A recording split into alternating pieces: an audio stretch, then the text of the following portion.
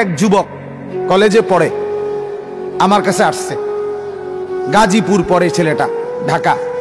আইসা খুব কানতেছে। অনেকক্ষণ আমি বলছি, আরে ভাই, কথা বলো। শেষ পর্যন্ত বলতেছে যে, হুজুর, আমি এমন কিছু গুনায় অভ্যস্ত যেটা আমি ছাড়তে পারি না। আপনার কাছে আসছি, আমি কি করব?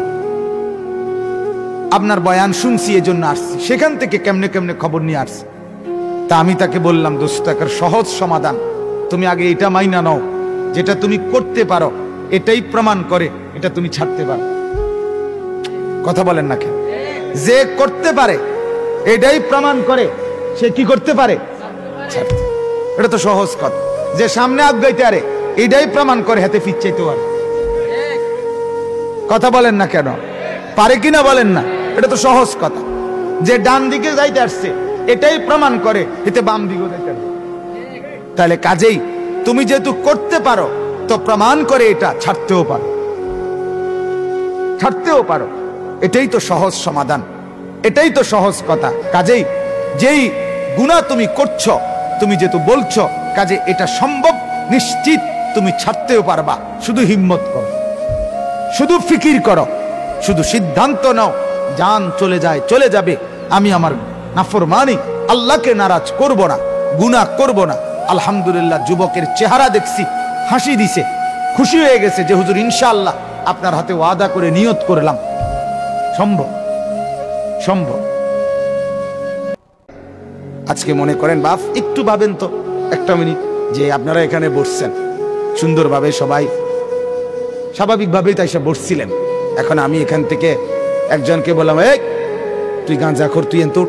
এই, তারা লাইতে বাইর কর। তো তারে সবাই টাইম না বাইর করে দিল। তার অবস্থানটা কি হবে? সে কি পরিমাণ বেজ্জুতি হবে? হবে কি না বলেন না।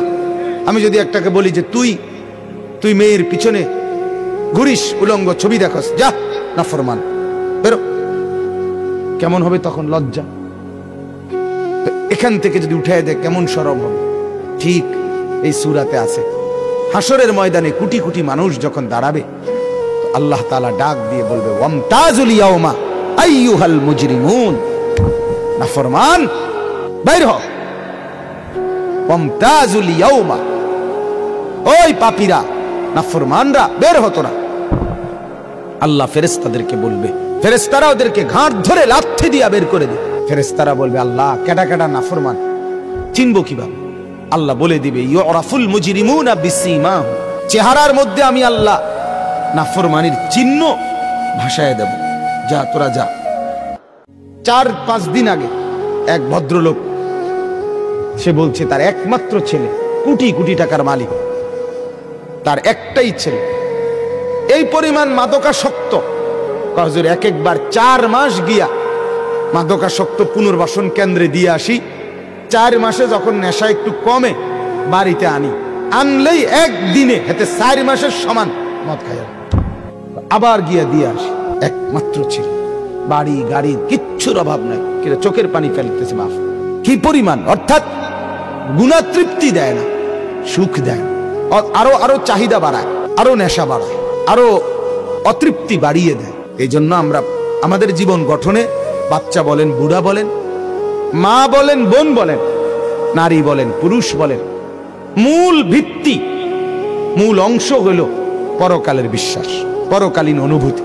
কি বলেন না না, ঠিক কইছেন, কইছে না। যেটা কইছে এটা কর পরকালের অনুভূতি, এটা বলেন? এটা হলো মূল বিষয় আপনার এত বড় ঘরের মধ্যে এত খাট, এত পালং এত সোফা, এত আলমারি, এত সার কাপ নুনের বাড়ি, এত কাছের ফ্লেট, আপনার এত বড় ঘরের মধ্যে একটা দস্তরখান নাই কেন? কথা বলেন না কেন? কেন নাই? আপনার এত বড় ঘরের মধ্যে আপনার বাথরুমে আপনার জিফুত যতজন, নিজে যতজন, এতটি বেরস, এতটি টুথপেস্ট ফেস ওয়াশ এরপরে শ্যাম্পু, এতটি পাওয়া যাইতে আছে দেখা যায়, একটা মেসওয়াক নাই কেন?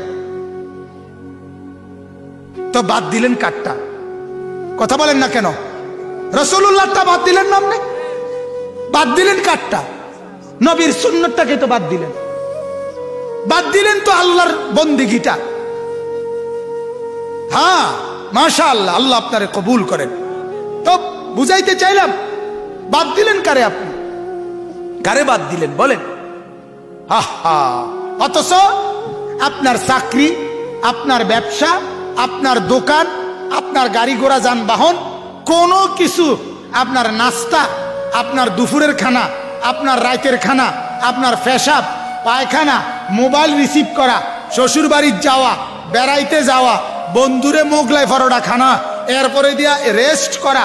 কোনো কিছুর থেকে আপনাকে বিরত রাখে না। শুধু সেজদার থেকে বিরত রাখে, নামাজ থেকে বিরত রাখে। তাহলে ধরলেন, রাখলেন, সবাইকে ঠিক রাখলেন, শুধু নারাজ করলেন। আল্লাহকে কেন? কেন? আল্লাহর সাথে রাগ করলেন কেন?